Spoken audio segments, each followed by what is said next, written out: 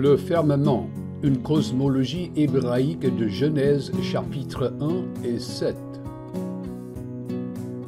Hypothèse. La cosmologie de Genèse 1 et 7 correspond au monde visible.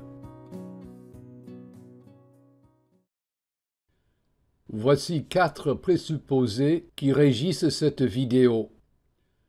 Que la Genèse décrit le monde visible que la Genèse définit ces mots en termes clairs, que la Genèse fut écrite contre le polythéisme, que certains moqueurs attribuent à la Genèse une cosmologie faussée.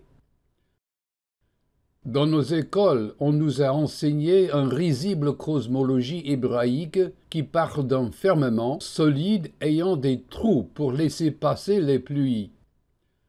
Cependant, cette cosmologie présente deux problèmes.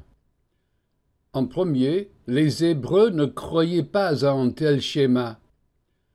Et deuxièmement, le langage de Genèse 1 et 7 ne décrit pas un tel schéma.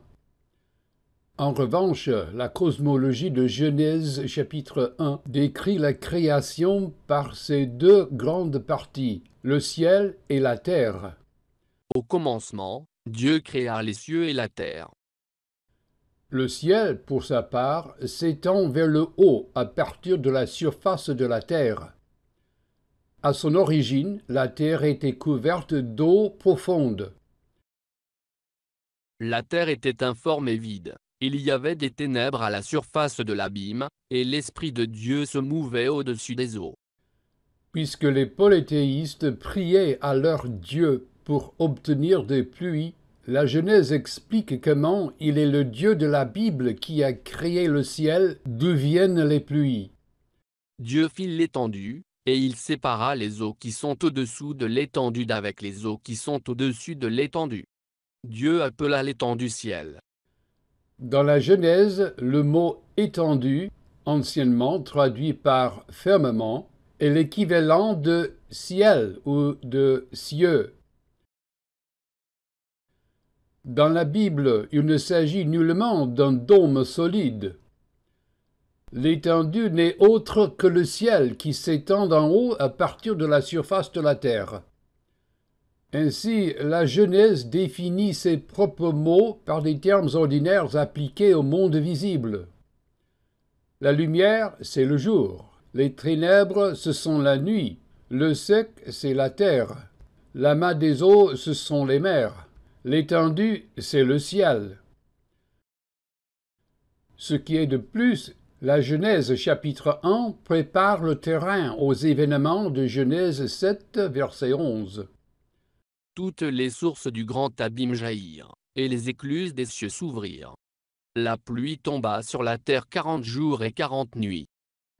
Le parallélisme entre les sources d'un grand abîme jaillissant et les écluses des cieux s'ouvrant, dépeignent non pas un dôme solide laissant tomber les pluies par ses trous, mais des fentes dans la terre qui laissent les eaux jaillir vers les cieux avant de retomber sur la terre. De ces versets, on peut tirer cinq déductions. La cosmologie de Genèse 1 et 7 s'accorde avec le monde visible tel que nous le savons. La Genèse dépeigne la création comme l'œuvre d'une diété unique qui, la seule, fait que les pluies tombent du ciel. Genèse chapitre 1 prépare le terrain au grand déluge de Genèse chapitre 7. Les maqueurs qui élaborent des cosmologies mythiques nous disent plus sur eux que sur la Bible les créationnistes qui font des eaux et de l'étendue, les processus astrophysiques peuvent en tirer trop.